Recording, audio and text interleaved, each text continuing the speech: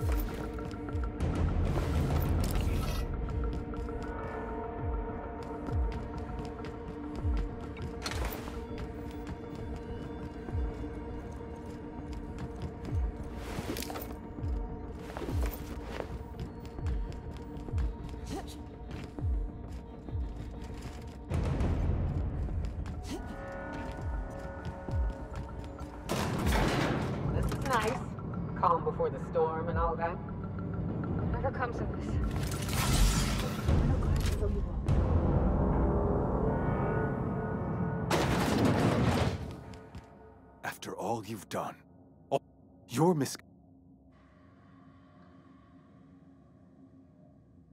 That crackpot's plan is ludicrous. In any other circumstance. No call for... You... You unbelievable bitch! Sophia should be the one wasting her time with you, but you killed her. I'll have you hanged, quartered, bankrupted!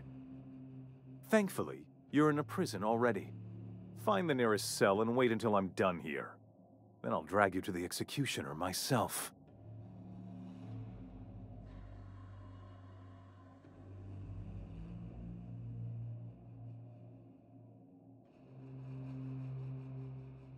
Is that what you think you're doing?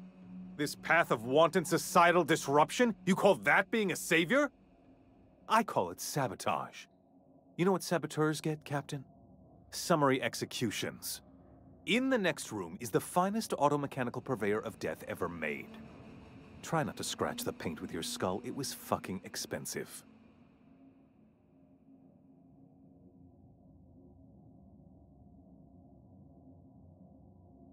Absolutely not. Akande was always the sociable one, not me. Need I repeat the magic two words?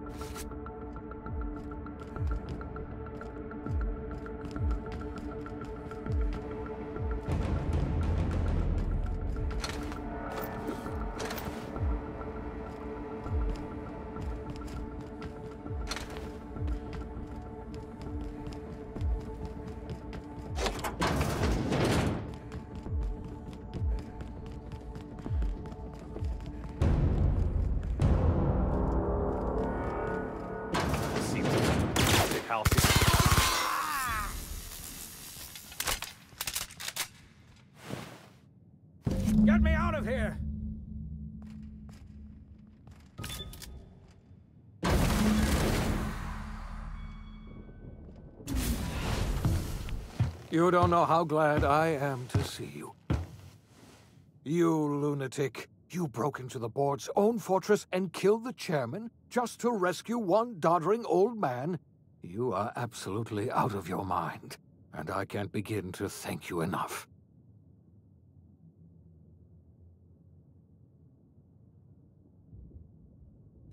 Ah! You've broken the board's stranglehold on this colony, and you saved my life.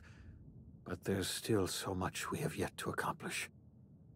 You and I are going to have to work harder than ever to save Halcyon. I'm afraid the situation is far worse than any of us ever anticipated.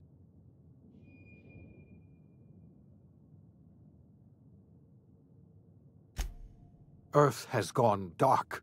We haven't received a single message in three years. There's been no communication, no signals, nothing. Two years ago, the Earth's Directorate's frigate disappeared on their way back to Earth. We don't know what they discovered when they arrived, or if they arrived at all. So we've got to make do on our own. Seems to me that'll make us stronger in the end anyhow. You're quite right. We've got no choice but to make do on our own. You mean we're all alone out here? Really alone? I'm afraid so, Miss Holcomb. Halcyon is the only home we have left. Returning to Earth is no longer an option. We're in serious trouble, my friend. Do you know what this means for Halcyon? We can't rely on Earth for support anymore. We've been cut loose. We're entirely on our own.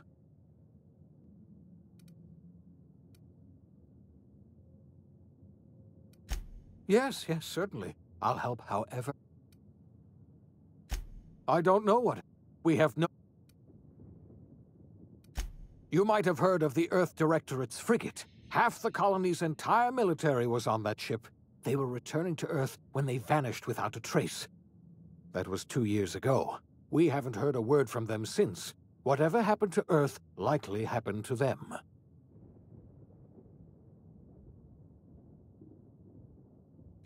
I wasn't trying to hide the truth from you, but after all you've done, I owe you an explanation. Yes, I experimented on the Hope's colonists. Each of my experiments ended in catastrophic failure. Each of my subjects died in agony. You are my first and only success. I didn't tell you about the others because I didn't want to burden you. My failures are my own to bear, not yours.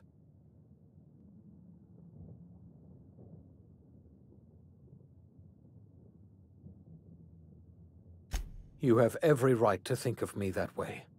I know I can never win back your trust, but I'm trying to set things right. My apologies. I need to get a hold of myself. We've far more pressing issues to worry about right now. If you have any more questions, ask me. I'll answer as best I can.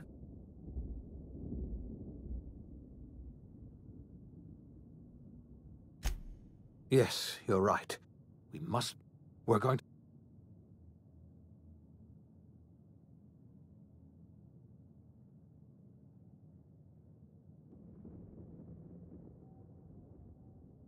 I can't tell you how glad... We... We are...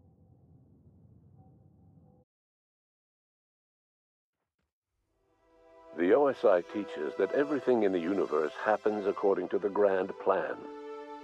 But the stranger that arrived in Halcyon was an unplanned variable. From the moment he landed in Emerald Vale, his actions altered the course of history. The events on Tartarus brought about the end of the board's authority. But the board's mistakes would haunt the colony for decades to come. The damage they left behind would require the work of a generation to repair. Dr. Phineas Wells began reviving a handful of the Hope's colonists engineers, scientists, technicians, and intellectuals. They were among the brightest minds the Earth had ever sent out into the stars.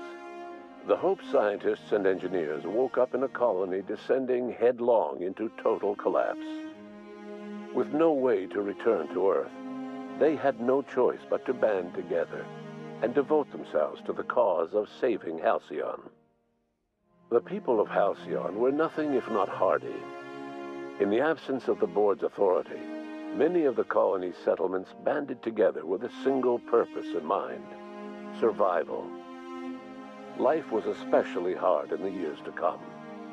Some towns dissolved by attrition and starvation, but most of them found a way to carry on.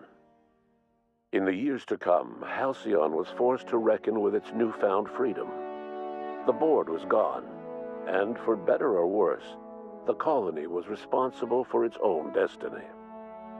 Sanjar's civil liberties and worker-centric policies were slow to catch on with the other corporations. But as Halcyon began its long, arduous journey toward recovery, many of Terra 2's smaller townships started adopting MSI's alternative corporate structure, and eventually became entirely self-sufficient. In the coming years, many of these townships managed to eke by, where otherwise they might have starved. Consumed by paranoia, Lilya Hagen took Sublight Salvage in a controversial direction, openly accusing board officials of an extraterrestrial conspiracy.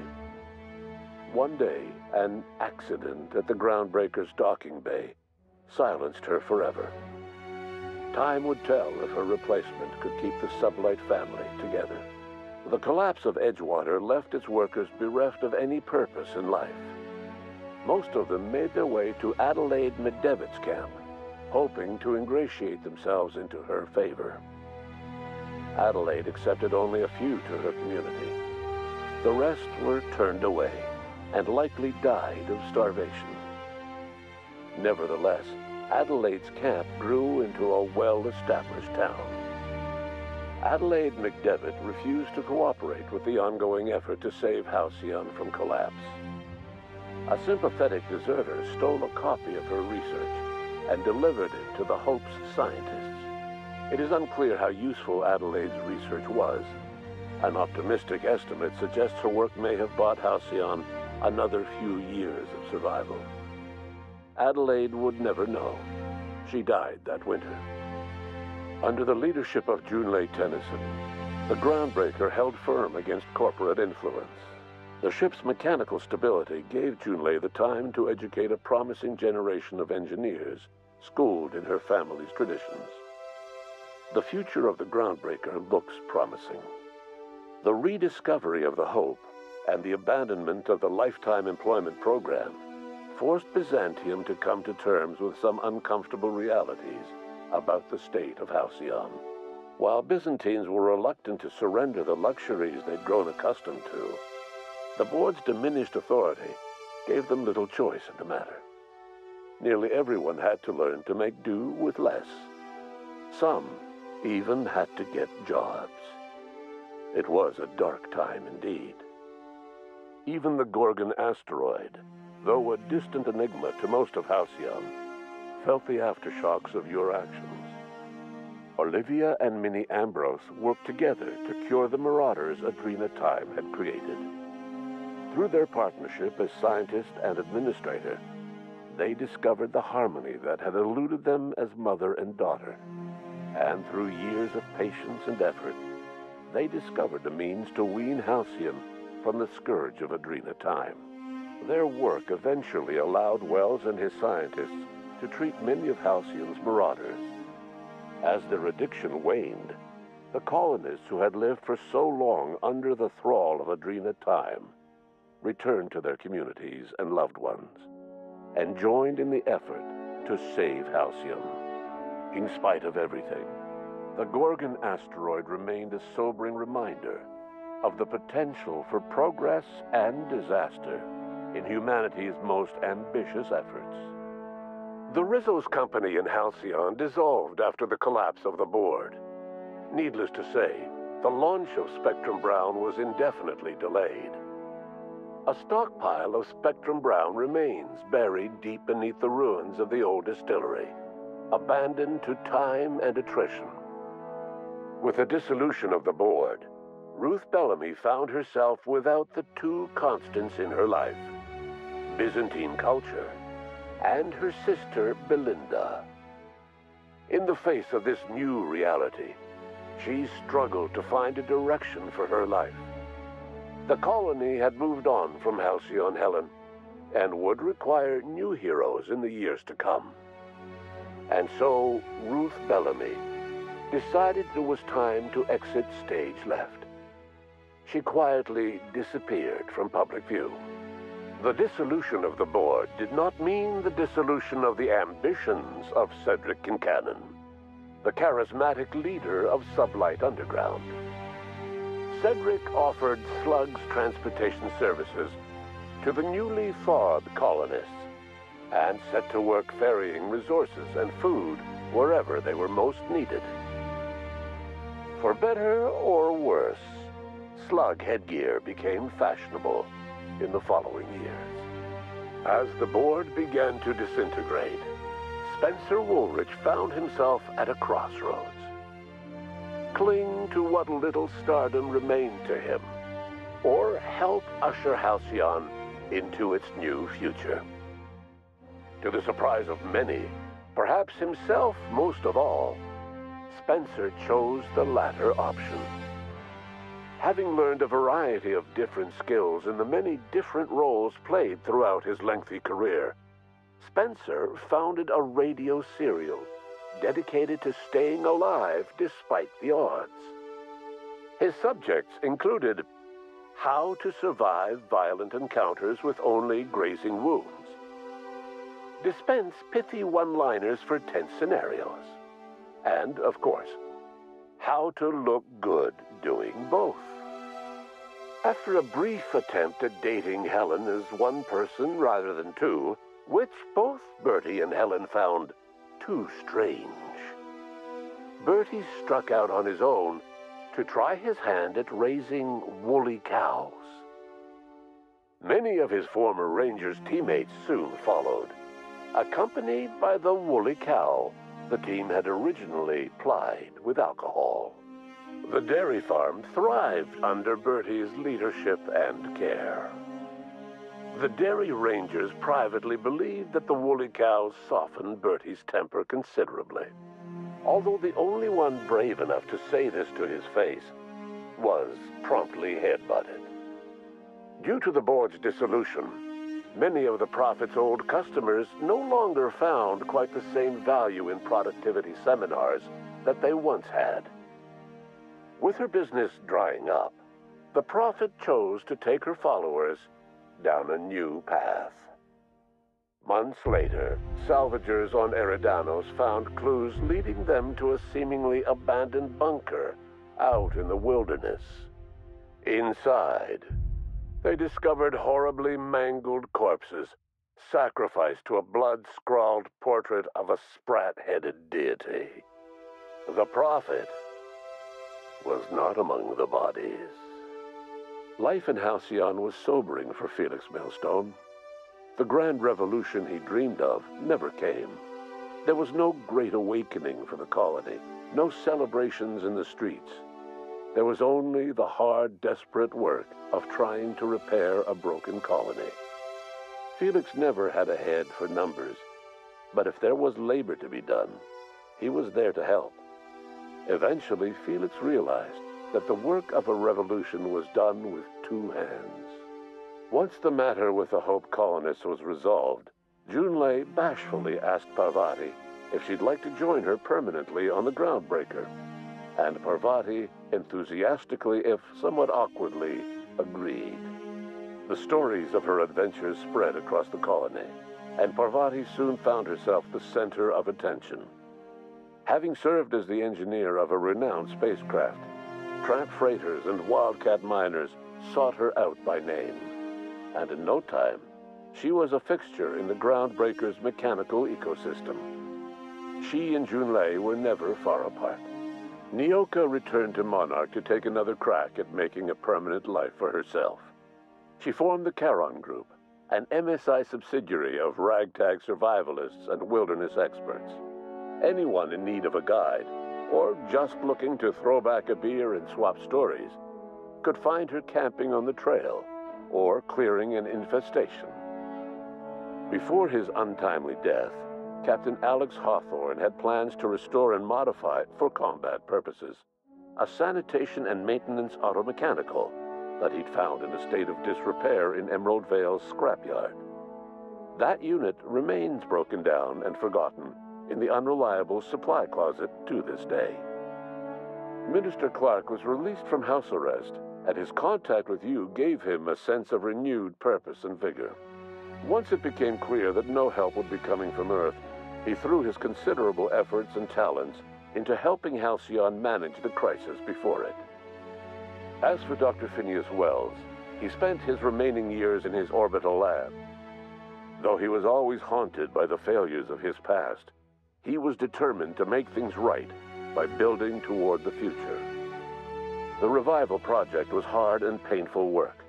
But in the end, despite limited resources, over half the Hope's colonists were successfully revived. Even after Wells passed away, the Hope scientists and engineers worked night and day to pull Halcyon from the brink of collapse. Their efforts continue to this day, which may be reason enough for optimism. Dr. Wells laid the groundwork for the project to save the colony, but he would never live to see the fruits of his labor. He passed away a few years later. His work was carried on by the scientists and engineers he revived. Life will never be the same in Halcyon.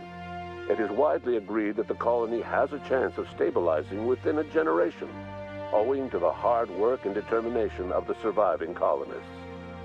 Recovery is a distant goal, and the path is long and uncertain.